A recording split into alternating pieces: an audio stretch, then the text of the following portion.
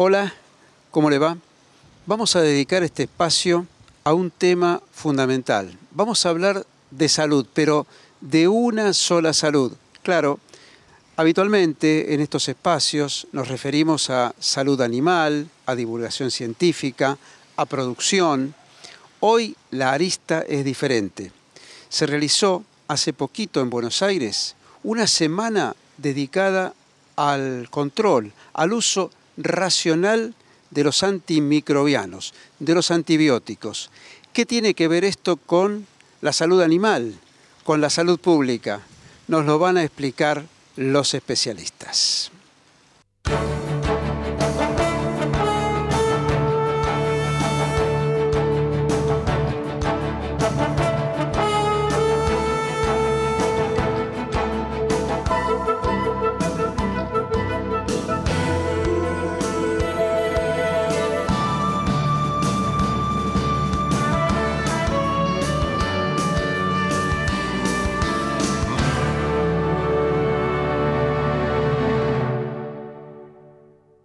El gusto de dialogar con la magíster Estela Maimone. ¿Cómo estás? ¿Qué tal? Muy bien, Antonio. Claro, eh, cuando hablamos de eh, un trabajo vinculado con la salud, con la salud pública en general, una sola salud, tenemos que hablar, en tu caso, con un especialista en epidemiología y en control de infecciones. Dirigís un centro precisamente que tiene que ver con estas actividades. Sí, nosotros eh, tenemos una, consultora que se llama CODEINEP, que es Control de Infecciones y Epidemiología, justamente, donde eh, asesoramos distintas instituciones de salud y además hacemos educación para los profesionales de la salud. Qué interesante. También para los enfermeros, ¿trabajás con ellos? Sí, sí, sí. sí. Eh, control de infecciones en nuestro país comenzó como en todo el mundo siendo 90% de enfermeros y el resto otros profesionales. Eh, con los años, estoy hablando de hace 50 años atrás, cuando comienza en el mundo, comenzó en Inglaterra, después en Estados Unidos, eh, eh, la especialidad la vieron, la vieron más médicos, microbiólogos, y los enfermeros pasaron a ser una parte, digamos, del grupo que hace control de infecciones. En nuestro país fue mucho más reciente, pero tiene 30 años ya la eh, la, especialidad, eh, que no es una especialidad, ¿no? Eh, digamos, académicamente, pero la gente que hace control de infecciones tiene todavía un 80% de enfermeros licenciados en enfermería, profesionales que hacen control de infecciones, y un 20% de otros profesionales, que se dedican exclusivamente, me refiero, porque para hacer control de infecciones el equipo es importante. Entonces trabajamos con médicos infectólogos, con microbiólogos y los enfermeros que tienen una capacitación de posgrado en control de infecciones. Y, es la única forma de trabajar. Después, dentro del equipo participan... Eh, otros profesionales, como bueno, en el caso este de el control de la resistencia antimicrobiana, el farmacéutico es, eh, es, una persona clave dentro del equipo, el departamento de enfermería es un grupo clave dentro del equipo, eh, se trabaja con, todos los socios dentro de la institución, porque nadie puede hacer eh, disminuir la resistencia antimicrobiana o hacer un programa que se llaman PROA, que son los de control de, antibióticos, ni solo, ni desde un solo lugar, sino que acá hay que involucrar a toda la institución.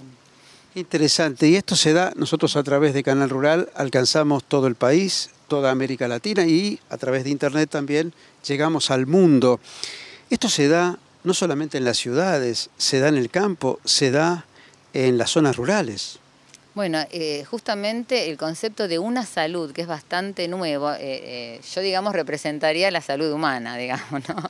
pero el concepto este de una salud tiene que ver con empezar a pensar la resistencia antimicrobiana no solo de lo que pasa dentro del hospital o de una institución de salud, sino la salud animal, la salud ambiental, eh, eh, la salud agropecuaria, plantas, suelos, mares, todo está relacionado con la resistencia antimicrobiana y, y además, bueno, la salud humana. Este concepto lo incorpora hace pocos años, dos, tres años, eh, la Organización Mundial de la Salud, y es cuando comienzan a trabajar y a, estudiar el tema, el tema en su conjunto. El otro día en la reunión de, lanzamiento de la Semana Mundial eh, del Control de la Resistencia Antimicrobiana que se hizo en la Academia de Medicina, eh, justamente estaban todos los involucrados y hablaban de somos todos socios para el control ¿no? y, para mejorar esto.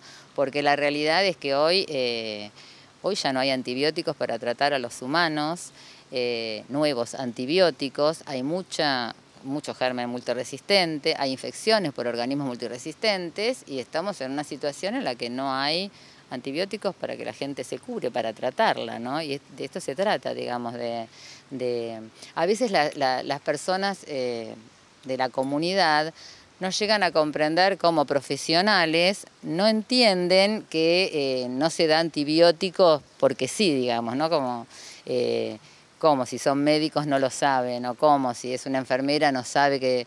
Pero, pero sucede, muchas veces es la misma población la que presiona al médico para que le dé el antibiótico, eh, o la gente, que es lo que más común pasa, compra un antibiótico sin receta. Hablabas de automedicación. También sucede con el tema de la zoonosis, porque uno de los factores recurrentes justamente es ese, ¿no? Cómo a veces el traspaso de las enfermedades de los animales a los hombres realmente hace camino, ¿no? Claro, es la misma conducta, digamos, en, la población animal que en la población humana. Y por esto es esto de eh, tratar el tema como una salud. Si, podemos eh, eh, controlar el tema de distintos aspectos, este, es importante. Y, en el humano, en la salud humana, la multiresistencia está aumentando, no es que está disminuyendo, está aumentando.